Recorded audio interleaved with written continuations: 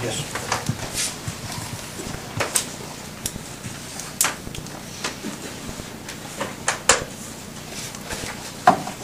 Yes. Item four, reading and approval of the minutes.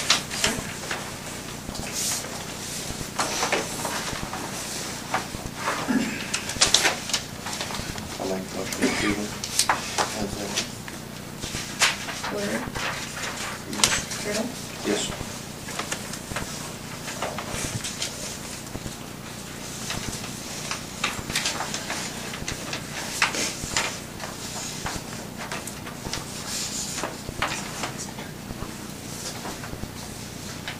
Thank you.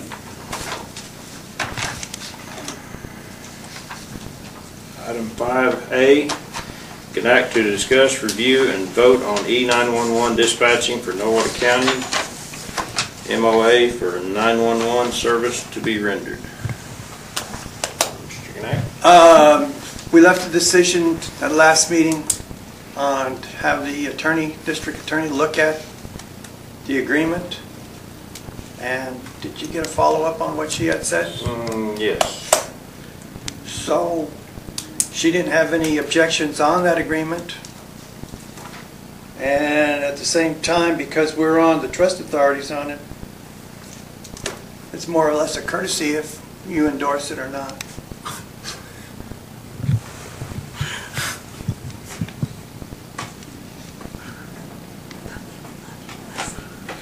I have no idea.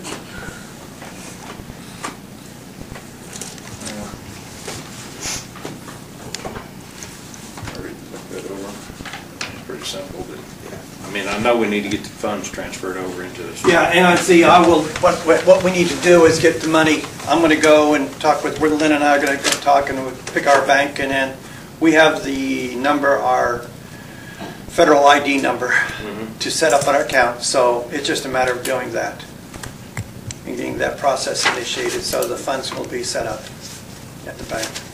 And then we'll get with, uh, the, uh, Nowata, uh, not the Oklahoma 911 authority, so that once the account is set up, then money would be going into that account and not into the county's account.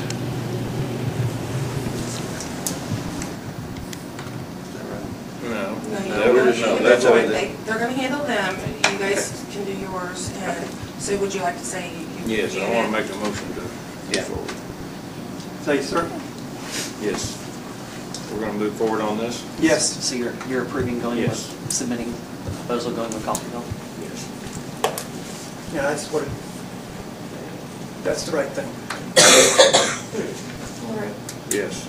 Yes. The MOA agreement was approved by the trust authority, was approved by the county commissioners, and that's one step that's been taken care of. It's okay, You just strike by his name, today you're the acting chair. Who made the motion? The motion did.